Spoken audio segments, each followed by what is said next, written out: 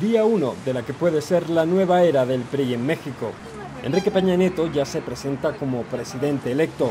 Así le reconocen también las autoridades electorales y gobiernos internacionales, aunque su rival Andrés Manuel López Obrador dijo que no aceptará los resultados hasta que se cuenten todas las actas. Peña Nieto esbozó este lunes las que serían sus prioridades de gobierno, que dice se caracterizará por cambios estructurales con énfasis en reformas fiscales, laborales y energéticas.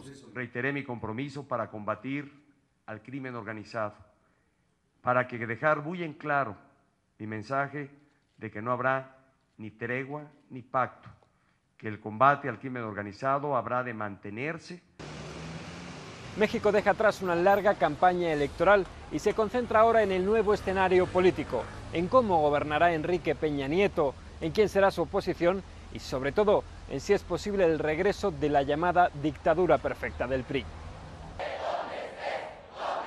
Cientos de jóvenes quieren impedir en las calles que eso ocurra.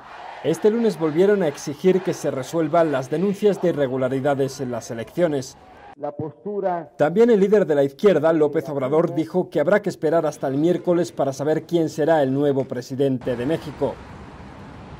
Peña Nieto dice que será un líder democrático que escuche los reclamos de estos jóvenes, pero sus críticos advierten que el PRI no ha abandonado del todo sus viejas prácticas. Yo creo que el, PRI tiene algunas novedades en términos de cómo han aprendido a ganar elecciones. Eh, no es el mismo PRI que simplemente podía dar instrucciones desde el poder, sino que es un PRI que aprendió a ganar elecciones de formas que no necesariamente son deseables. Eh, sigue habiendo mucha compra y coacción del voto, eh, sigue habiendo, sobre todo en los estados, un interés por controlar directamente los medios de comunicación eh, y, y, han dado muestra de ellos gobernantes priistas. En cualquier caso, si Peña se convierte, como es previsible, en presidente de México, tendrá que gobernar sin mayoría absoluta en el Congreso y sin las instituciones puestas a los pies del jefe de Estado. En definitiva, sería un presidente obligado a renunciar al estilo de gobierno de los viejos periodistas. Desde México, Ignacio de los Reyes, BBC Mundo.